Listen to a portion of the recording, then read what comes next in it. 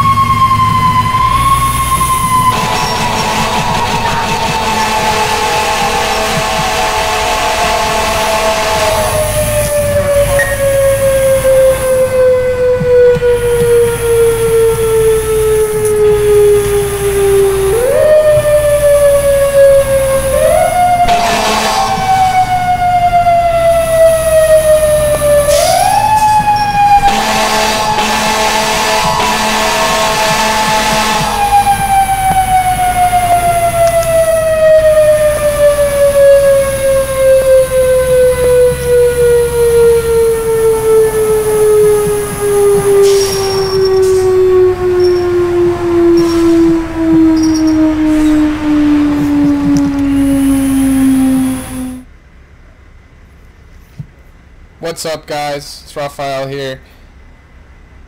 This video is going to be a lot of fun. There's a lot of cool new things we've added and I know we've been kind of quiet the last few weeks but that doesn't mean we've been working as always. So I'm going to go over a couple things this video. Um, the first thing you might notice is that the game just looks substantially better. We took a lot of time to focus on um, lighting effects, uh, tone mapping, ambient occlusion, just a lot of post-processing effects to make the game look as good as it should, you know. There were things that we we noticed and heard from the community about how the game looks, which we agreed on 100%, and that's why we took this action. So, personally, I think it looks perfect. I think it looks great. The lights look amazing to me, and everything just looks great to me. So, um, right now we're in a new thing a new feature called photo mode.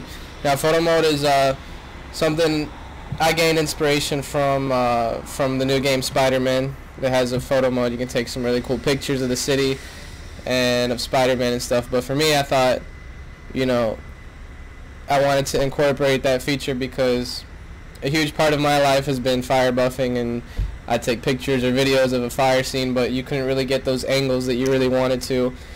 Um, now, the benefit of photo mode is it gives you a whole new camera mode while also removing UI completely and giving you a in-game photo gallery that you can view at any time. So uh, to enter photo mode, you simply go from any cam any camera mode that you're in.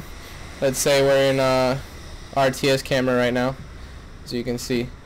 If we just press F6, we'll enter photo mode, which gives us, you know, a cool little fly around camera there. We can zoom down the streets or zoom slowly do some cool uh, cinematic shots at any field of view or any uh, any zoom. You can just use the the scroll wheel to zoom in and out.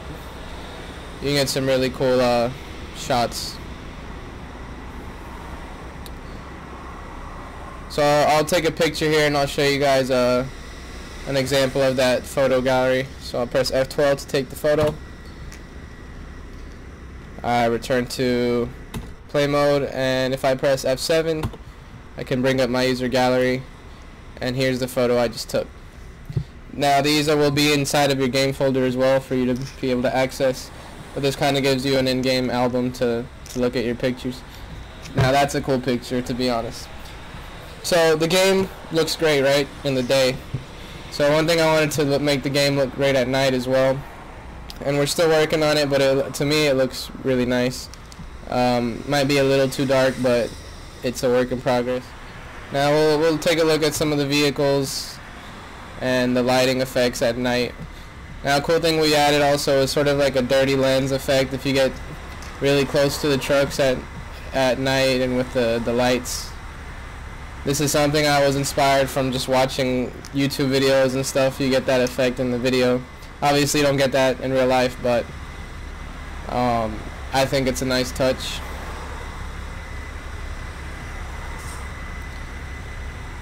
Personally, I think the lights also look really, really nice.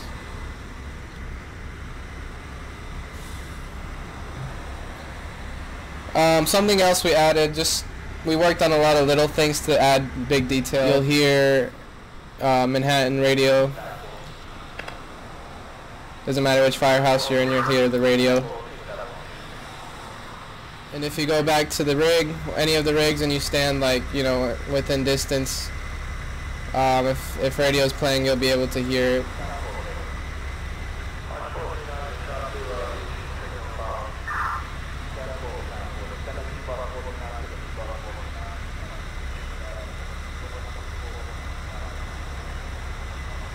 So as I zoom out you can notice that the sound fades away. This is a cool little thing at fire scenes if you have the trucks there you can hear the radio and it kind of just adds a an aspect of realism to the game that was obviously missing before. Um, another thing that we took a really long time doing was just trying to get the city to be more alive now. Um, so you'll notice if we go down this avenue we're gonna have parked cars and and trash cans and trees and so here you have you know one of our street props which is a firebox which we try to have them on every corner you have you know trash cans LinkedIn Link NYC uh, booths which these saved my life a bunch of times when I was in the city and my phone was about to run out of battery. The cars that were parked here before are not the same cars that are parked here now so uh, they're individual parking spots that change constantly so that you know if you come back to the same area a bunch of times you don't have the same vehicles parked there so. Here's um some more street props. You've got some trash bags.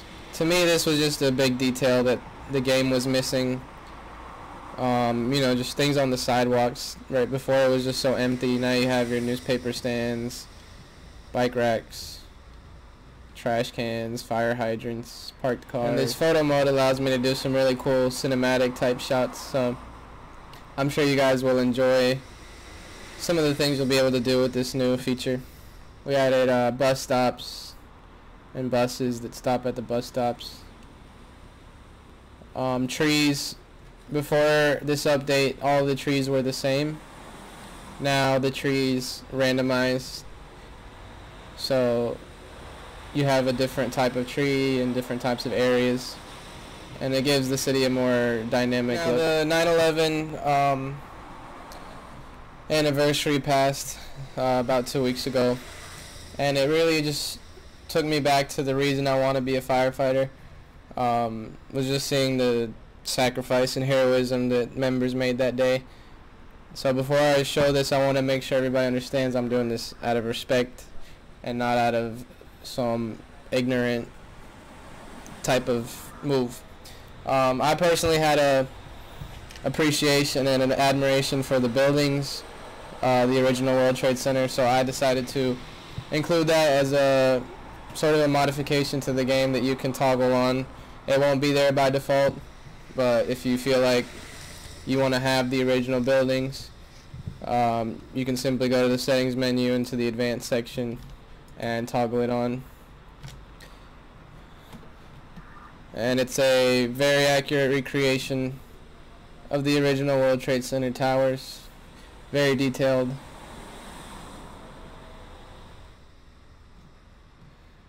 It also includes a memorial with the names of those who perished that day. So I'm going to read out the memorial to you guys. This memorial is on behalf of FlipSwitch Games to the 2,977 victims of the September 11th, 2001 attacks on the World Trade Center. This recreation of the original World Trade Center in Emerge NYC is in no way meant to be tasteless or offensive, but rather to honor all of those who gave their life and the beauty of the original buildings. This memorial is also here to honor the countless firefighters, police officers, and civilians who have died due to 9-11 related illnesses since. So I want everyone to realize that every time we do something like this, whether it's put a an LODD uh, on the rig after they pass away on the line of duty, it's always done to commemorate and sort of memorialize that person. Because I want to be able to do that, but the best way I can is to, to do it through this, you know. But I'll take you around the uh, the buildings and you can see sort of the the accuracy and the detail. You can go up here and walk in walk in the uh, plaza. It's a really beautiful beautiful area. So I recommend doing that. We're gonna make it look a lot better with um, with trees and and whatnot, but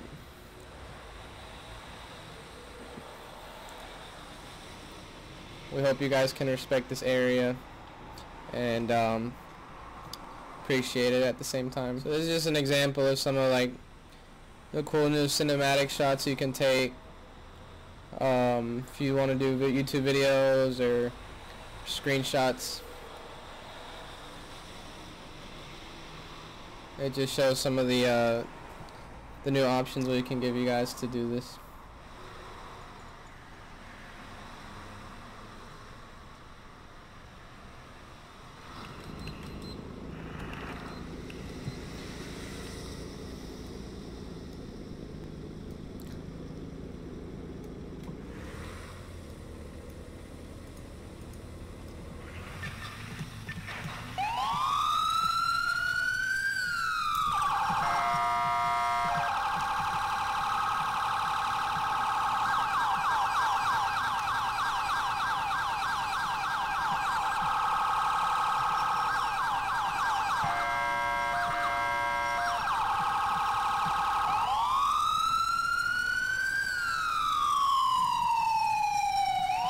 So the last thing I want to show you guys is um, the basically going to be the beginning of the EMS video, which is coming next. This is what I'm most excited about to show you guys.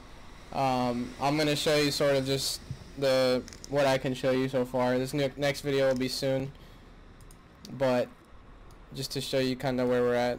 So um, you can. So here we have our paramedic. We can go to the back of the ambulance and hold E, and you have this new um, radial menu, which we're going to replace a lot of current systems with this because it looks nicer and it works nicer. Um, and it, it's easier for new players to use. So we just press E and we can grab our stretcher. So from there we have a couple options. Uh, we can grab it. We're still working on the uh, animation. You can release the stretcher, you can lower the stretcher, you can uh, put the patient on the stretcher when you have the patient, you can raise the stretcher, you can uh, take the stretcher back, back to the ambulance, and you can return the stretcher. So that's uh, what we can show right now. We do have a lot more to show, but I kind of want to wait till it's the right time. Um, but what I will show is this handbook that I wrote today. Um, for people who don't really know about EMS or people who are into EMS but kind of trying to understand how the game works. So this is the EMS guidebook written by yours truly. We divided sort of the game mechanics into a few different um, a few different um, categories. So number one, you have your patient vitals. Now, the vitals in the game are what you're going to have in real life. You have your O2 sats, which you need to monitor. You need to monitor heart rate, breathing, blood pressure, your temperature, blood glucose. And to examine these, you would examine them like you would in real life. So right now, as you walk up to the player, or correction, if you walk up to the patient, he will show up with a a bunch of different um, areas that you can examine on his body. Um, so if you want to check his pulse, you can check his neck. You'll you'll hold the button to examine that area of the body. It'll take a couple seconds, and then once you have finished examining it, it will display either this area looks fine or what you need to know about your assessment. So if you notice that he has no pulse or his pulse is weak, or if you check his uh, his hands and you check for a pulse there um, those are different things that will show up if you check his head you might also get um, he his temperature is really low or he's really hot if you check um, their chest you'll see if they have if they're breathing um, proficiently or if they uh, have possible internal bleed bleeding from bruising or if you feel some type of tenderness. Um, so once you got your patient vitals, you keep examining the patient and you're going to be presented with all these different conditions. So you obviously have cardiac arrest, shock, you know, respiratory arrest, broken limbs, chest pains, difficulty breathing, choking. These are all different categories that when you assess the situation, you need to figure out okay what what next what treatment and what medication do I need to use um, so let's say we come on a patient who has um, severe burns in a fire if you know kind of the basics of EMS you need to look out for him going into shock from hypoperfusion because you lose a lot of a lot of fluids you need to look for his airways because he can have an, have burned his airway and now be unable to breathe. So the treatments we would use, uh, we can use oxygen, of course. Uh, we might need to intubate the patient from if they are unable to breathe because of their burned airway. We might need to do rescue breathing if they're breathing or not. We uh, want to use we want to give them an IV because they lose uh, fluid, and then we can go to our medications and see okay what can we give the patient.